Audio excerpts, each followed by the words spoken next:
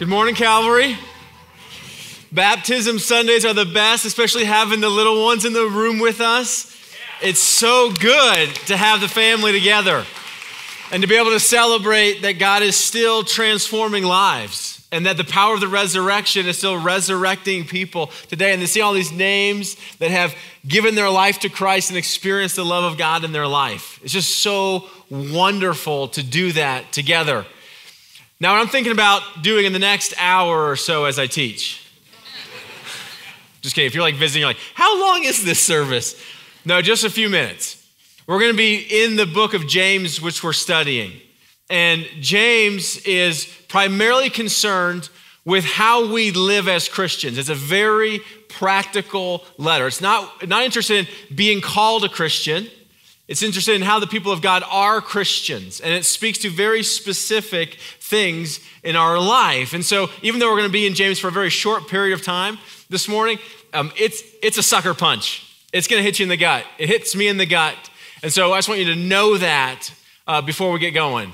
But it is personal today, but it's also instructional and life giving if we lean into it. So here's a situation that I have found myself in. I wonder if you have ever been in something like this. Well past midnight, and you've been arguing with your spouse for hours. And you're wondering, how did this argument begin? I mean, oh, I, I, remember we started by talking about a miscommunication or a lack of communication that I didn't give to my wife, Kristen. But it seems like now it's covered every area of our whole life. We've been talking about like dish towels and, and laundry and finances, and then we like brought each other's extended family in it. We've been talking about all sorts of things and how they're going to impact our kids hypothetically in the future. And you're wondering, what happened? What started this? Why have we been arguing for hours? And, and, really, you're thinking, or at least I'm thinking, how does it end? Like, how, do, how does this stop? How do we stop arguing? And how do I go to bed? Because I'd really like to go to sleep. And so I started thinking, you know what I would do? Is I would just start apologizing for everything. So you're like, I'm so sorry that I didn't communicate to you about these things. I'm so sorry that I didn't put the, da- the towels away. I'm so sorry I'm breathing right now. I'm sorry I'm alive. You know, whatever. I'm just going to apologize. But you know what? It doesn't work because she's on to me. She's like, that's not a genuine apology. You're just saying sorry so you can go to sleep. And you're like, I'd say anything at this point if you let me go to sleep. But that's the question is how did this argument blow up? Where did it come from? What was its cause? How does it end? And James is going to address that specific question. So if you got your Bibles, open up to James chapter 4, grab your journals. James chapter 4, verse 1. Those arguments aren't just for the marriage. Those happen amongst friends, amongst family members, they happen with coworkers, neighbors James has been talking about how they can happen within the church, how these quarrels and fights can happen amongst the people of God. And he asks this rhetorical question, which he intends to answer. Chapter 4, verse 1 What causes quarrels and what causes fights among you? That's the question that James is asking to the, the recipients of this letter. What causes the arguments that you've been having. So I want you all to put an argument in your head. Take the last argument that you've had. Perhaps it was like 35 minutes ago on the way here. Maybe it was last night. Maybe you're in one. So I want you to think about the most recent argument that you had or are in right now. What has caused that quarrel and that argument? Now, you're listening to this going, sound, sound, sound, sound, sound. It's not a what, it's a who. Like, let me tell you who is the source of these arguments because I'm not an angry person, but she, he makes me so, what would you say? Crazy, mad, angry. It's not a what, it's a who. And let me tell you who it is. It's these coworkers. I mean, I didn't get to choose my team. I'm on this team. They drive me bonkers. It's my neighbors. I mean, they bought this house and they're doing these things to it. They're driving me crazy. It's my kids. I mean, yeah, I, we, we birthed them, but I don't know whose kids they are. Like, they make me so mad. It's all of these people. I mean, I didn't get to choose to have them, and they make me an angry, quarrelsome person. And then there was this time in your life that you finally met someone, and she didn't make you mad. He made you laugh. It was great for the first time ever. It was like I didn't fight with someone. And so, because they were such a wonderful person that you never fought with, you thought, gosh, I should marry them. And so you got married. And now that's the person you fight with the most. So, what's the common denominator in all those relationships? Tell you what, grab your phone, pull your phone out, and turn your camera on. I'm serious. Pull, pull this out. This will be like a date stamp. Grab your phone, turn your camera on, turn on the front facing camera. You know how you do this? I mean, I've seen you guys on Instagram. Someone shows you like, it's like, hi, cheekbones looking good. Like, and just take a picture of yourself. That's who it is. That's the person. That's the who is the what that's causing the quarrels and the fights.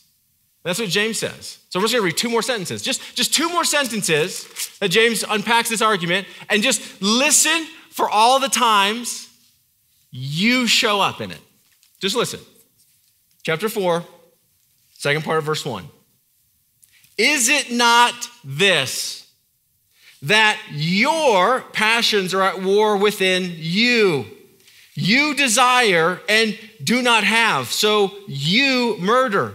You covet and cannot obtain, so you fight and quarrel. You do not have because you do not ask. You ask and do not receive because you ask wrongly to spend it on your passions. You adulterous people. Who's the what? That's the source of all the quarrels and fights that you're in right now. It's just me. You kind of have to own it. This is where the mature Christian, who's not just interested in being called a Christian, is interested in being a Christian, has to look at the last quarrel and say, you know what the source of that was? Was me. The bottom line is this, and it's, it's kind of an embarrassing bottom line. Here's the bottom line What has caused that quarrel? I'm not getting what I want. That, that's James.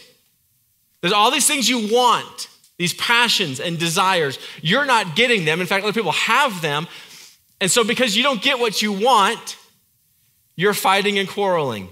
What is the source of all your quarrels? I'm not getting what I want. So, think of that last quarrel that you're in. What did you want? I just wanted to be on time. That's right. I just, I, just, I just wanted to be on time, and so I'm screaming and I'm yelling because she's never on time. I just, I just want to stick to a budget. And I don't know why they can't stick to a budget. I just want him to make more money. I just want her to make more money. I just want him to be the spiritual leader. I look out in the, in the, in the church and I see all these great men who are leading their families and are spiritually mature, and he's not. And I want him to be. And I'm not getting what I want. I want her to stop being so selfish and think of others. I want her to control her words. I want, but I'm not getting. Think about this with your kids, even. You're sitting with your kids in the car and they're screaming and yelling, and then you start swatting them in the back seat. Like, be quiet. Why are you so angry? Why are you fighting with your children? I just want the car to be quiet. I just want my kids to say thank you. I just want them to say, I love you. I just want kids that they have. And so James is just unpacking the fact that our heart is filled with all sorts of desires and passions for what kind of mom we want that maybe we don't have, what kind of dad we want that somehow we don't have, what kind of marriage we want, what kind of family we want, what kind of church we want, what kind of pastor we want, what kind of sermons we want, and we don't get them. And James says, and that's what causes all of these fights and quarrels. Bottom line, I'm not getting what I want, and so I fight for it. And there's just, there's just an honesty in our own life that we just have to step up to and say, you know what, maybe the thing we're fighting about isn't the thing that we're fighting about. But maybe the thing we're fighting about, and this is where it's, it's kind of embarrassing because you don't want to actually admit to the person you're fighting with what you actually want. Like there, there are husbands in this room that just fight with their wives because they, they, what they really want is just, I want more intimacy with my wife, but I'm not going to say that. And so I'm going to fight and yell about all these other things. And there are wives in this room that are screaming and yelling about certain things that he isn't this or that because what they want is someone maybe not to fix all their problems or someone to listen and pay attention and pursue. But he's not doing that. But I'm not going to say that, like, I want you to pursue me. That seems so selfish. And James says, yeah, that's the point. That's the whole bottom line of this is we're all a bunch of selfish people with passions and desires. We're not getting what we want, and so we're, we're fighting and quarreling about it. And he points out in here, says, what you want is like what everyone else has. You, you covet. Coveting is you, you desire to possess what other people have.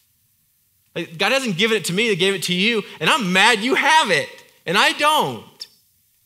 And James actually makes this point. He says, You fight and quarrel, you're jealous and you covet, you desire and you don't have, and you murder for it. Now, is that, is that hyperbole?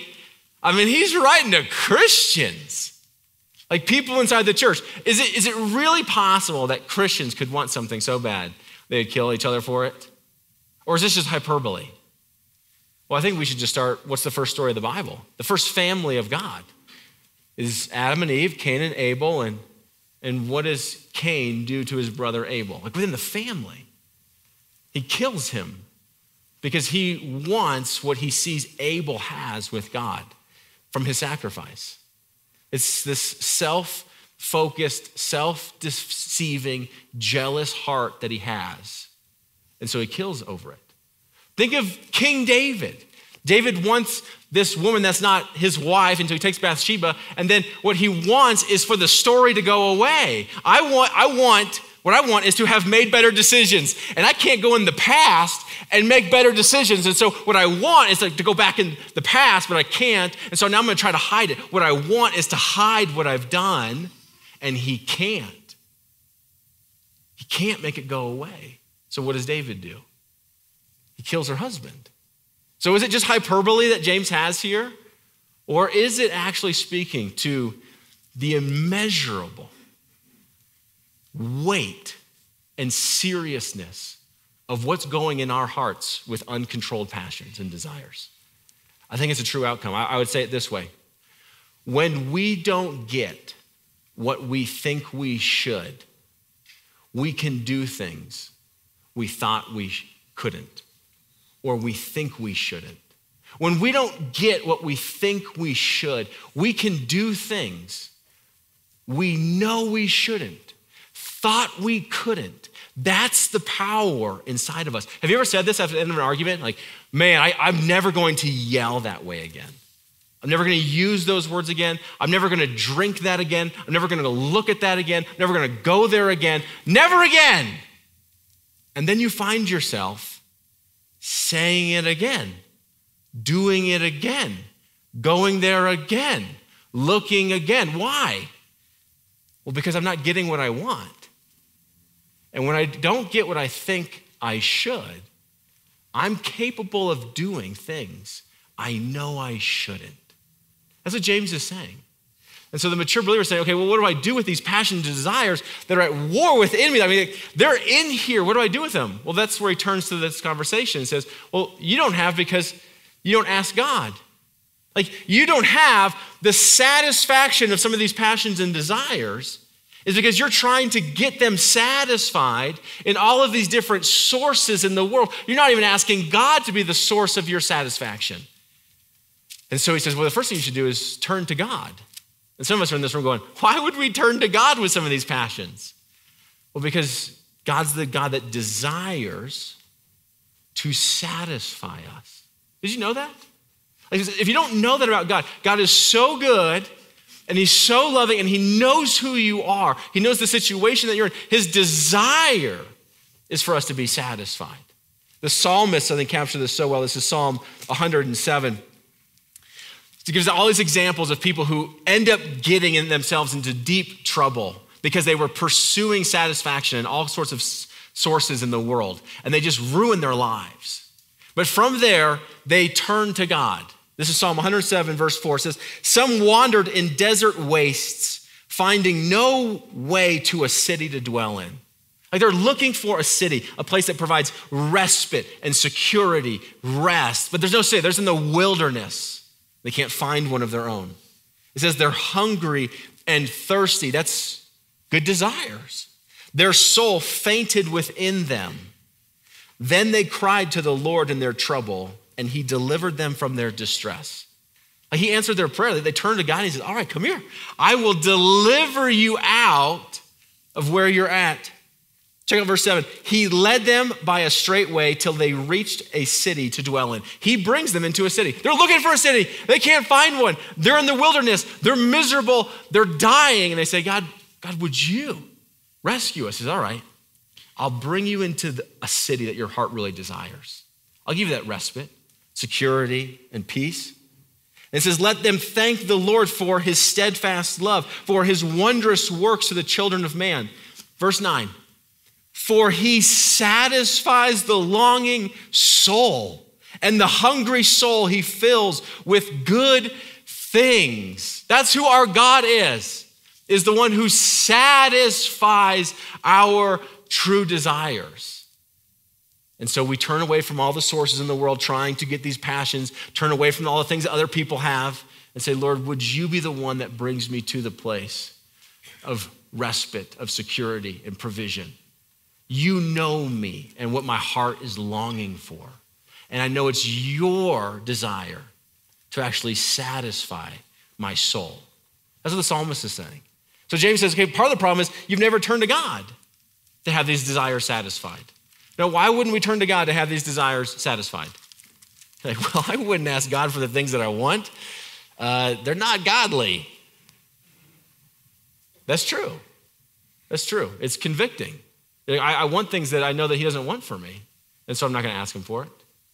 But some of us will hear this and say, okay, I'm, God wants to satisfy my, desi- my desires. Okay, I'll start asking Him. And you're like, I asked Him. I've asked Him for years for all this stuff. I've asked Him for even good things in my marriage. I've even asked Him for good things in my career, good things in my community, and I've given Him my Christmas list. And it's not satisfied, which is James' next point. He says, when you ask, you ask wrongly. You're like, oh man, there was a right way to ask? Oh gosh, I didn't know it was like rub the genie twice. That's not what, that's what he's saying. It's like you come to God thinking that there's a certain mechanism to ask him to get what you want. Who's the centerpiece of your prayer life still? Is me. Where are my affections lying in this prayer life? With me and my passions and my desires. Are you even thinking about God with this kind of prayer life?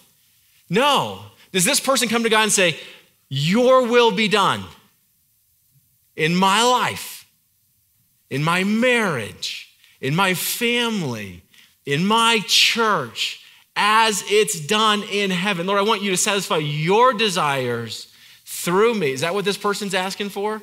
No, they're asking for God's stuff to keep spending it on them. That's what James says here. It says, You do not have because you do not ask. And you ask and do not receive because you ask wrongly to spend it on your passions. James uses this word to spend it, spending it, the same way that Jesus used the word spend it when he told the story of the prodigal son, who turned to his father and was like, Dad, I wish you would hurry up and die. Because when you're dead, I can have your stuff. I get an inheritance. And the father says, You know what? I'll give you my inheritance now. Here's the stuff. And then the prodigal goes and takes everything that the father had given him to spend it, same, same use of the word, spend it on himself and all of his passions.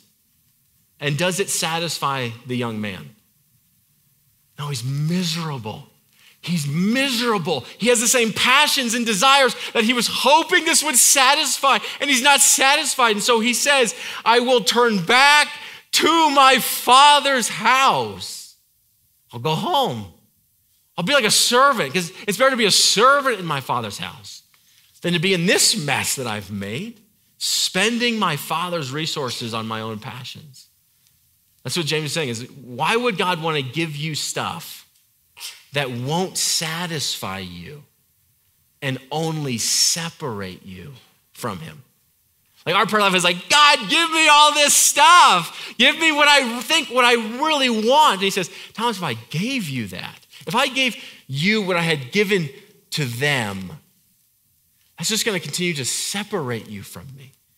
You'll forget about me. You'll leave me. And then you'll be more rotten and miserable than you possibly could have imagined in the first place. And so, knowing what James teaches us, what starts quarrels and fights amongst us? Is it not this? That you don't get what you want? And we're all kind of embarrassed going, yeah, that's about it. That's about it. I maybe need some help identifying what I really want, but that's about it. Is I'm not getting what I want out of her. I'm not getting what I want out of him. I'm not getting what I want out of them. It's desires and passions of my own body. And I haven't even turned to the Lord in this. And so James is just inviting his church, inviting his hearers to say this you need to start owning your piece of the pie. You need to start owning your part of the quarrel, of the fight and the argument. It's not just them. It's not that they make you mad. It's that I'm participating in it. And so maybe in the next fight, maybe the one you're in right now, maybe this is how you actually start the car ride home is you start by saying this. You know what has caused this fight? Is I'm not getting what I want. I know it sounds like a 2-year-old. He said, I'm not getting what I want, and, and this is what I want. And now that we've identified what I want, can we pray together and ask that the Lord would take all of these ones? I don't even know if these are good ones, I don't even know if these are the ones He has for me, but I'm going to take all of the passions and all the desires in me, and I'm going to say, Lord, these are my passions and my desires. And I don't want you just to give me the resources so that these passions are satisfied. I want you, I want you to satisfy what these passions are really craving in me. Would you be the source? I'm praying, Thy will be done in my life as it is in heaven. And so, for the mature believer in the room, we say, the quarrel that we're in, we're just going to own it. We're not going to push blame anymore, blame them. The blame game's over. We're just going to own the quarrels and fights, and it starts with me. And what is it that I really want? And then I'm going to turn to the Lord and say, Lord, I know who you are, the one who desires to bring us into your city, into your relationship, and satisfy the hunger and thirst that I truly have in my soul. As Augustine said, right?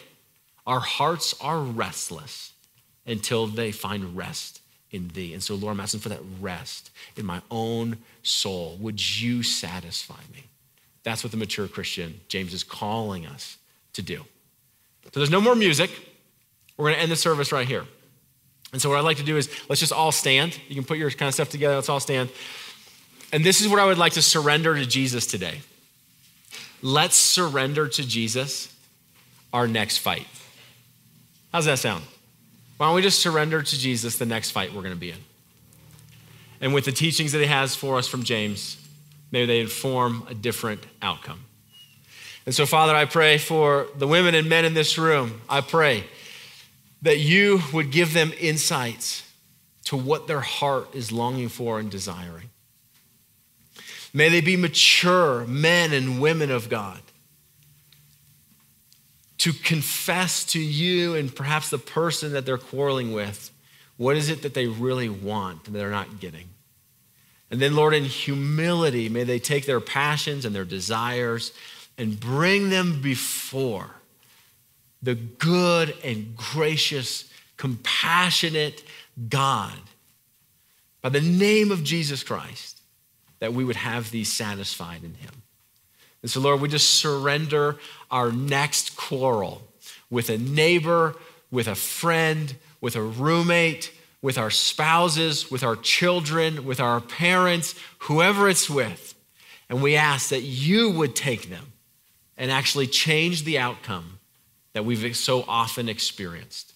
And may it happen in such a way that the name of Jesus becomes more famous, and glory goes to the Father in heaven.